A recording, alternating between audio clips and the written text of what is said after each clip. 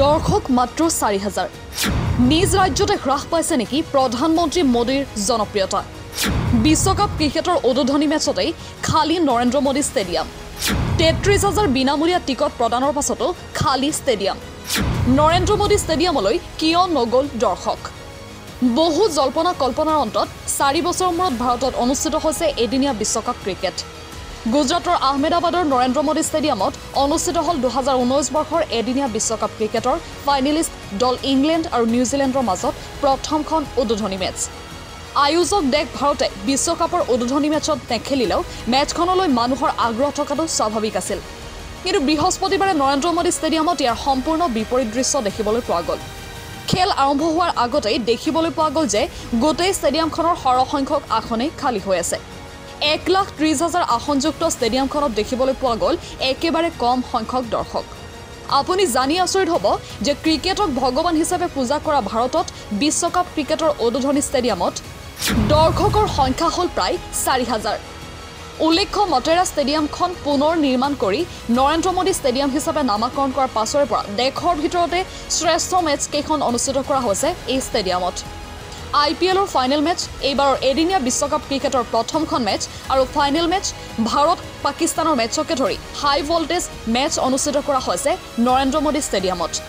কিন্তু ফাইনেল নাইবা ভাৰত পাকিস্তানৰ মেচক লৈ যিদৰে অনুৰাগীৰ মাজত উত্তেজনা বৃদ্ধি পাইছে তাৰ বিপৰীত ছবি দেখিবলৈ পোৱা গ'ল বৃহস্পতিবাৰে নৰেন্দ্ৰ মোদী ষ্টেডিয়ামত। বহুতৰ মতে ভাল বিজ্ঞাপনৰ অভাৱৰ বাবে অনুৰাগীৰ অভাৱৰ বাবেই খালী ষ্টেডিয়াম। আনহাতে ক্ৰিকেট অনুৰাগীসকলে ভাবিছিল যে বিশ্বকাপ ক্ৰিকেটৰ পূৰ্বে এক বৃহৎ উদ্বোধনী অনুষ্ঠান অনুষ্ঠিত হ'ব। কিন্তু শেষ মুহূৰ্তত গম পোৱা গ'ল যে অনুষ্ঠিত নহয় কোনো উদ্বোধনী অনুষ্ঠান। সেই মুহূৰ্ততে হয়তো উৎসাহ কমি আহিল অনুৰাগীৰ মাজত। আনহাতে আহমেদাবাদৰ স্থানীয় বিজেপি নেতাই মহিলা সংৰক্ষণ বিধেয়কৰ সফলতা উদযাপনৰ বাবে তেত্ৰিছ হাজাৰ মহিলাক বিনামূলীয়াকৈ উদ্বোধনী মেচৰ টিকট প্ৰদান কৰিছিল। লগতে এই তেত্ৰিছ হাজাৰ টিকটৰ বিপৰীতে ব্যৱস্থা কৰা হৈছিল পানী আৰু খাদ্যৰ। কিন্তু এইবোৰৰ পাছতো মহিলাসকলক যেন আকৰ্ষিত কৰিব নোৱাৰিলে নৰেন্দ্ৰ মোদী ষ্টেডিয়ামে। তেত্ৰিছ হাজাৰ মহিলা অনুৰাগীৰ আধা সংখ্যকো উপস্থিত নাথাকিল। বৃহস্পতিবাৰে অনুষ্ঠিত ইংলেণ্ড নিউজিলেণ্ডৰ মাজৰ মেচখনত। এই প্ৰমাণ কৰে যে নিজ গৃহৰাজ্যতে হ্ৰাস পাইছে প্ৰধানমন্ত্ৰী নৰেন্দ্ৰ মোদীৰ জনপ্ৰিয়তা। মোদীৰ মেজিকে যেন একোতে দিয়া নাই কাম। ইতিমধ্যে ছ'চিয়েল মিডিয়াত নিজৰ ক্ষোভ প্ৰকাশ কৰিছে সমৰ্থকসকলে। তেওঁলোকৰ দাবী ভাৰতৰ মেচ কিয় প্ৰথম মেচত ৰখা নগ'ল? বহুতে আই চি চি আৰু বি চি চি আইক সমালোচনা কৰিছে। ইতিমধ্যে টিকট বিতৰণৰ সমস্যাৰ সৃষ্টি হৈছে বিভিন্ন ৰাজ্যত। ইয়াৰ ব্যতিক্ৰম নহয় গুজৰাটতো।